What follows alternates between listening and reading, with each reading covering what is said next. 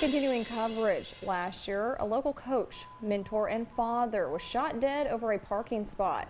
Now, one year later, Roderick Jerome Gott Sr. is memorialized at Bill Cockrell Park with a large plaque given by the city.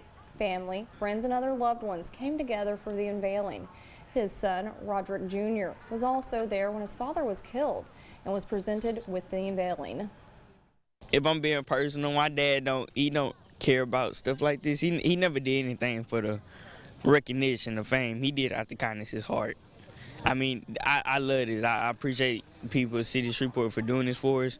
But I know my dad, he this wouldn't he he'd be grateful for it, but that wouldn't faze me. He'll still continue to do what he do. Ronald Parker was arrested last year on second degree murder charges for killing Gott.